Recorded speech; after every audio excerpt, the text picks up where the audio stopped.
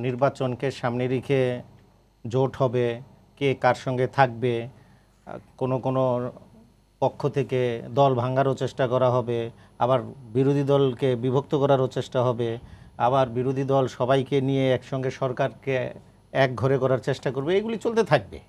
এগুলো দোষের কিছু না এগুলো রাজনীতিতে হয় কিন্তু যেটা হওয়া উচিত না সেটা হলো এই সহিংসতাটা এই যে মারামারি কাটাকাটি এইগুলো আপনার এই রাজনীতির প্রতি যে বিমুখ হয়ে যায় মানুষ সেটা কিন্তু এই যে এই সমস্ত কারণে।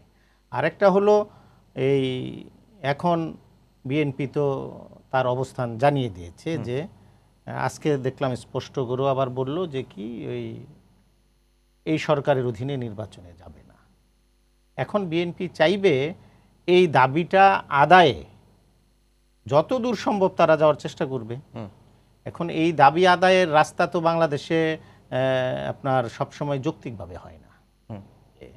আমার দাবিটা যদি যৌক্তিক হয় আপনি মেনে নিলেন। বিষয়টা তো এই ওই যে ন্যায্য তার ভিত্তিতে সবসময় হয় না যেটা বঙ্গবন্ধু সাতই মার্চের ভাষণে বলছিলেন তাদের একজনের কথাও যদি ন্যায্য হয় আর কি।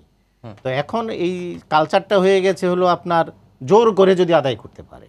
জোরটা কি? আপনি যদি এক লক্ষ দশ লক্ষ মানুষের সমাবেশও করেন যদি শান্তিপূর্ণ হয় বাংলাদেশের রাজনীতিতে দেখেছি ওই সেটারও আপনার কোনো মূল্য নাই। এই আওয়ামী লীগের সময়ও দেখেছি এই টঙ্গি থেকে পোস্তগোলা পর্যন্ত এই মানববন্ধন করেছে। হ্যাঁ এইগুলোর ইম্প্যাক্ট হয় না। ইম্প্যাক্টটা হয় কখন? আপনি যদি মারামারি করতে পারেন ভাঙচুর করতে পারেন রাস্তা ব্লকেট করতে পারেন অবরোধ করতে পারেন ট্রেন কাট হরতাল দিয়ে জ্বালাও পোড়া করতে পারেন তখন সরকার দুর্বল হয় কারণ মানুষ বিক্ষুব্ধ হতে থাকে। তো এই কালচারটাই তো খারাপ।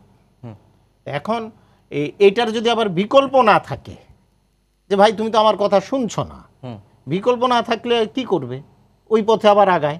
তো এই কারণে এগুলো মানে দেশের মানুষের পালস বুঝে মানুষ কি চায় সেটা অনুধাবন করে যদি দাবি যৌক্তিক হয় মেনে নিয়ে তারপরে যে আপনার আলোচনায় বসা উচিত। এই আলোচনাটা আবার বলতে পারেন যে ওই বিএনপি বলবে আলোচনায় কেন বসবে? বলে সে লাভ কি? বলতে পারে। সরকারি দলও বলতে পারে যে তোমরা যদি জামাতকে নিয়ে আসো তার সঙ্গে আমি আলোচনায় বসবো কেন? এগুলো সব প্রকাশ্যে বলতে পারে কিন্তু সব আলোচনা আপনার যে এই প্রকাশ্যে সবার সামনে হবে তা তো না। এগুলো আন্ডারহ্যান্ড ডিলিংস অনেক সময় হয় ভিতরে ভিতরে যে তাদের কথা হয় না তা না রাজনীতিতে এগুলো চলে সব সময়। সো আমি মনে করি সেই প্রক্রিয়াটার মধ্য দিয়েই যাওয়া উচিত নয়তো আপনার দেখবেন এই দেশে এই বিভিন্ন সময় রাজনীতিবিদদের হাত থেকে ক্ষমতাটা চলে গিয়েছিল।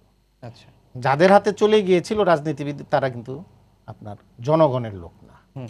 আলটিমেটলি তারা যতই দেশপ্রেমিক এসে কথা বলুক বা আপনার সিভিল সোসাইটি বলুক যেটাই বলুক জনগণের সাথে কিন্তু সম্পৃক্ত থাকে রাজনৈতিক দলই। মারামারি কাটাকাটি যাই করুক রাজনৈতিক দলকেই দায়িত্বটা নিতে হবে।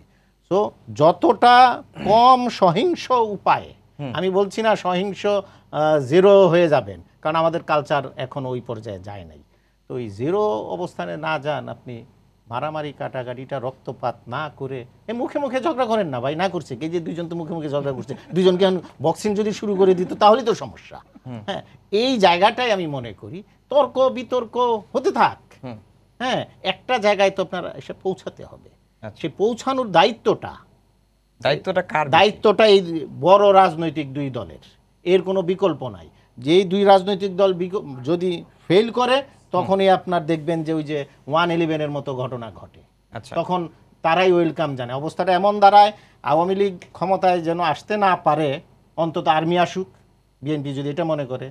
আর আওয়ামী লীগ যদি মনে করে আমরা যদি ক্ষমতায় যাইতে না পারি বিএনপি না যাক আর্মি আসুক বা অন্য কেউ আসুক এই চিন্তাটাই আপনার আরেকটা হলো ক্ষমতায় যেই আসবে ক্ষমতায় ছাড়ার বিষয়টাও কিন্তু একটা গুরুত্বপূর্ণ। ভয়টা পায় কেন? আমি ক্ষমতা হস্তান্তর করলাম এরপরে যে আমাকে ধ্বংস করে দিবা না। আমি যে আমার তো কিছু লুফুলস বা ভুল ভ্রান্তি অনেক বা বিরোধী দল নির্যাতন করেছি ক্ষমতায় আবার এসে যদি আমার উপরে একই ঘটনা ঘটাও অতীত অভিজ্ঞতাগুলো এইরকম এই কারণে কেউ ক্ষমতাও ছাড়তে চায়